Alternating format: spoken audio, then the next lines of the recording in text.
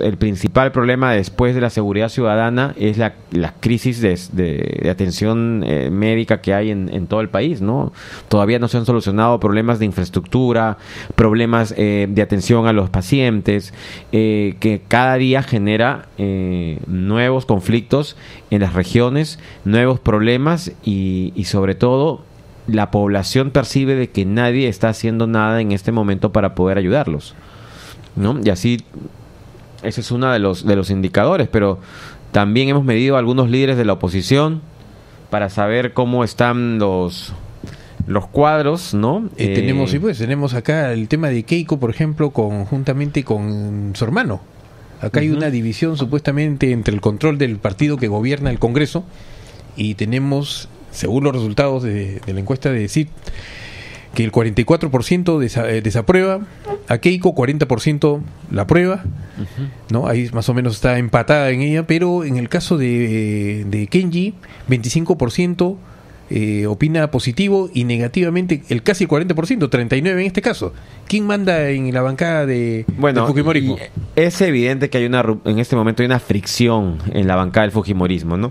Tenemos ¿Es una ficción real o es una ficción completamente, no, completamente este, real. Teatral. Completamente real porque ya este se percibe pues de que Kenji tiene una agenda propia en el en, dentro del Parlamento. Es más, hay congresistas que lo han salido a criticar de su misma bancada diciendo que él no asiste a las reuniones, que él no no sabe mucho de, de, temas legislativos, entonces que ya un congresista, que es un obviamente un invitado, porque este es miembro de la familia Fujimori, que un congresista de su bancada salga a criticar al hijo de, Alberto Fujimori, significa que hay una orden expresa de Keiko de, Keiko de, darle al hermano un jalón de orejas. Con lo cual hay un grupo de, de gente que se denomina albertistas, dentro de la bancada que está alineada con Kenji Fujimori y que estaría preparando la salida de Kenji en, en, las próximas elecciones ya con una candidatura propia. Con lo cual creo que eso sí sería fatal para el Fujimorismo porque Kenji también, recordemos, fue el congresista más votado.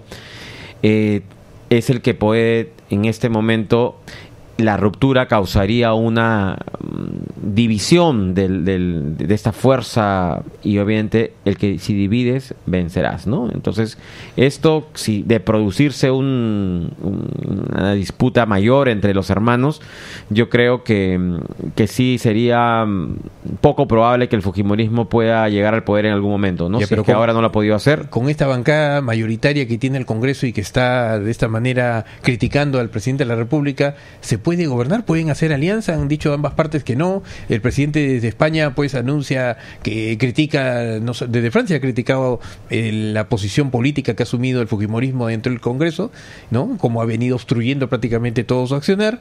Eh, no lo dice acá, o se ha ido a España a, España también ha dicho respecto al tema de, la libertad del presidente de la República, de, del expresidente Alberto Fujimori. Lo han criticado los mismos Fujimoristas porque sale, eh, dice vamos a hablar del indulto, vamos a hablar de la libertad etcétera, pero al final no, no, no llega nada. Aquí, aquí jugando PPK. Y con ese juego va a permitir hacer una alianza por lo menos hasta el fin de su mandato, como todo el mundo espera que, que, no que termine bien. Bueno, el, el, el, tema es que PPK debió evitar la censura del ministro Saavedra, no debió sacrificarlo, debió en ese momento plantear una cuestión de confianza y en realidad tomar el control del gobierno. Él no lo hizo, dejó que a su ministro de Educación, que hoy es, ha sido nombrado en, el extranjero, en un organismo internacional con un alto cargo, en reconocimiento a su labor